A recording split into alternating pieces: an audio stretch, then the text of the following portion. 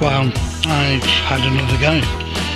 My first attempt, I used um, an old wood, using the wood chisel. It was too sharp.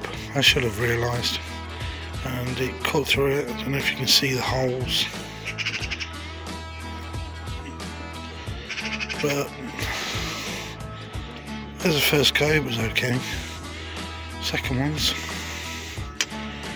turned out really nice. I like these.